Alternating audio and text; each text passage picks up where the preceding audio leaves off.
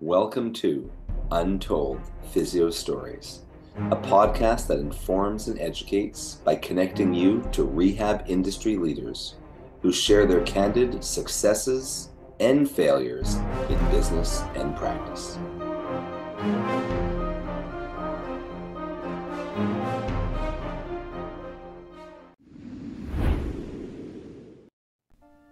This episode of Untold Physio Stories is sponsored by Edge Mobility System.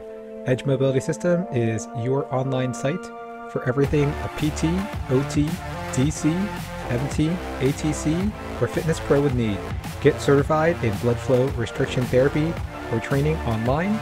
Check out our full modern manual therapy seminars, ISTM toolkit, Edge suspension trainer, portable tables, and more. Untold Physio Stories listeners can save 10% by going to edgemobsys.com. That's E D G E M O B sys, S-Y-S dot com slash untold to save 10% off their first purchase. Edge Health and Tech Solutions. We do websites that work for you and give you an edge over the competition. Did you know that you have less than 10 seconds to capture someone's interest in your website before they click away? How about the fact that most people are accessing your website from their phone? Save thousands and get a fully mobile, appealing, and SEO optimized website linked to your social media, email list, and Google My Business. All for one low price and no monthly fees. Why not keep doing what you do best in your business and allow us to handle the tech side? Let's get started. Find us at edgehealthandtech.com. Welcome back to another awesome episode of Untold Physio Stories podcast. I'm one of your hosts, Dr. E, with Modern Manual Therapy, the Eclectic Approach, and Edge Mobility System. And my co-host is uh, Dr. Andrew Rothschild. Oh, look, I can see my waveform better uh, with Modern Rehab Mastery, Modern Patient Education. Right. You know, one of my strengths, other than clinical ma- manual therapy, patient education, entrepreneurialism, is also technology, and that is not Andrew's strength. Not at all. We, I think we've talked about that before, but he finally has a, a great mic. And um, I think you hopefully will be able to hear the difference because before it was all editing that made Andrew sound as good as he does.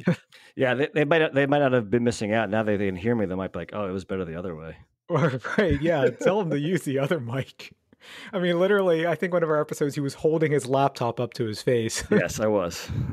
right. Yeah not too professional, but you know, it's a podcast. You can't see. Anyway, um, I've been meaning to talk about this case. This patient often pops into my head as one of the bigger failures that I had on earlier in my career.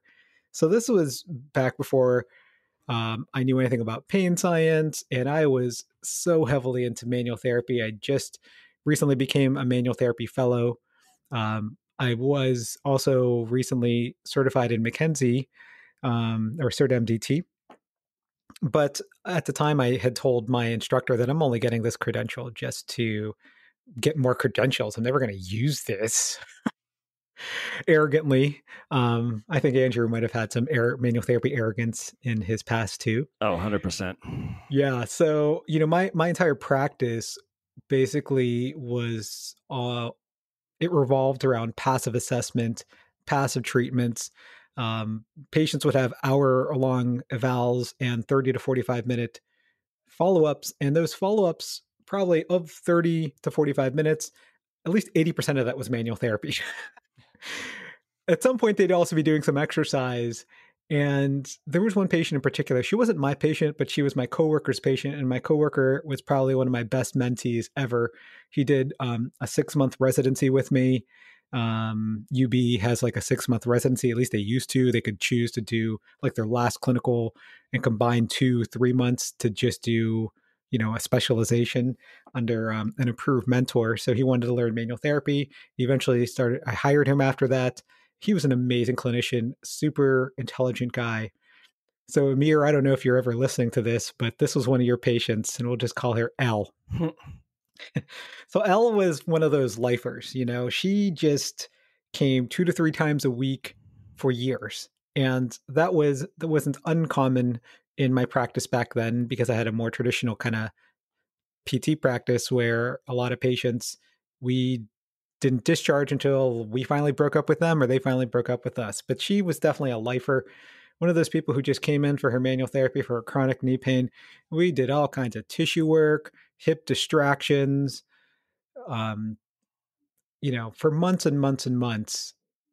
Finally, someone um, I, re- I had an in service from one of my colleagues who was really big into this new thing called functional exercise and everything everything should be you know forget open chain let's just go right to closed chain and so you know we're like hey why don't we start doing closed chain stuff so after you know all these open chain exercises and granted the patient had never really exercised a day in her life either and she wasn't very coordinated um, and I had stopped seeing her after maybe the first couple weeks, passed her over to my my coworker, but I am I am just much as to blame because she easily could have been my patient for 6 months. So I remember the first time we got her to step down after um after doing her, you know, 20 to 30 minutes of manual therapy, her right leg pretty much collapsed. Mm. Like I she couldn't even step down with like without like a max assist.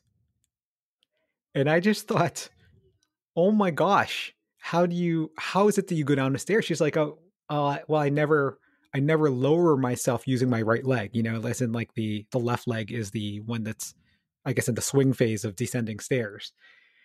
And I just thought, what what oversight? Like, how is it that we've gone this far and she can't even support weight after like five degrees of her knee bending in closed chain. I was wow.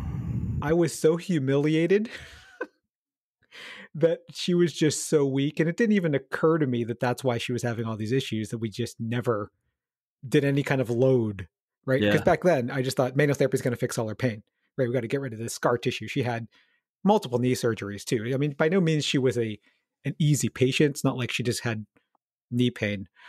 Um, because we rolled out her back and I improved her ankle flexibility, stuff that I still do now. But I mean, gosh, she was so weak. I just immediately felt like epic fail, and that was even before epic fail was a was a term. well, you know, it, it, it still highlights a you know an issue that we probably deal with on a regular basis uh, in healthcare is that is patient satisfaction you know, in, tr- in terms of trying to uh, meet and address the patient's needs, you know, understanding needs versus wants. You know, they want lots of different things, but it's not necessarily what they need to get better. And so I, that can be part of the problem. Sometimes I wonder where they, you know, patients want to feel better. They don't want to do exercise sometimes. How do you bridge that gap?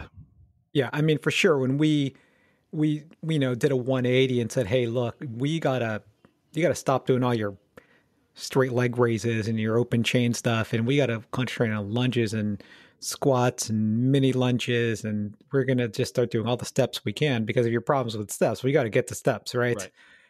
And she was not really having that at all. I mean, especially after months and months and months of passive care and coming from a background of I don't like exercise to begin with. Yeah. But still, I mean, had we had we emphasized exercise in the beginning and not passive care, maybe we'd have turned it around. I don't know. It's not easy to to kind of convince someone for that, and I don't know because I don't have a time machine. But right, I just when when she almost fell down, I just had never felt like a bigger failure.